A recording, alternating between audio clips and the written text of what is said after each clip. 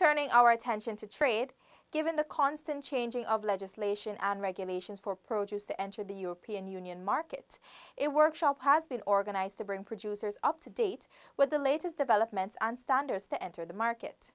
The CARIFORUM EU Economic Partnership Agreement was a landmark accord to allow for not only the trading of goods, but also to allow for the investment and trade in services, trade-related issues, and development cooperation.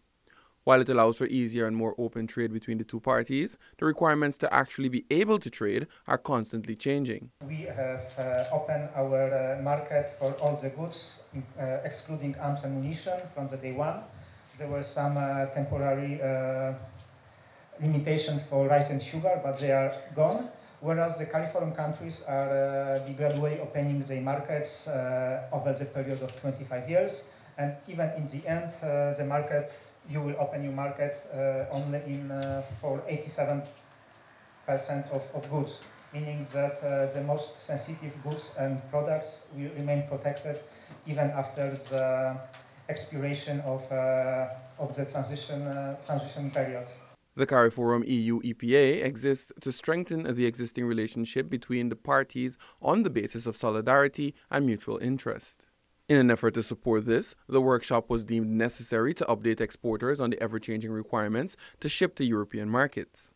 As a result of the decline in tariffs, other systems had to be put into place to better control what products enter the EU market. These systems, technical trade advisor Sanya Alain explained, are based on sanitary and technical requirements to ensure quality and adherence to public health safety regulations.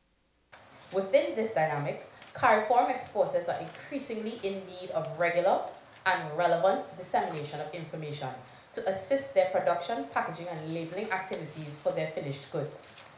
Whereas CARIFORUM public sector, inclusive of business support agencies, which are here, and Bureau of Standards, require greater intergovernmental transparency on the declaration and implementation of sanitary measures and technical requirements that would impact exporters from their states.